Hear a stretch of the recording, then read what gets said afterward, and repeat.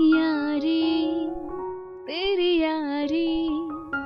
कुछ यारियाँ उम्र भर के लिए होती हैं, कुछ यारियाँ यारों को अपनों से भी ज़्यादा करीब हो जाती हैं।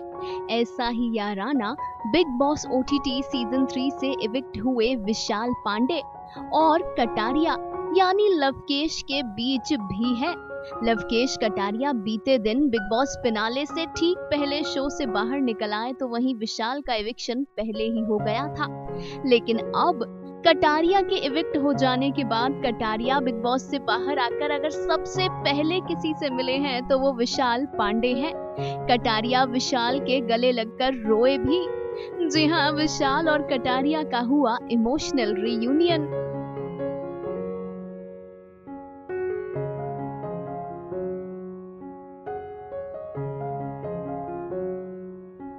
वेल दोस्ती होती ही ऐसी है।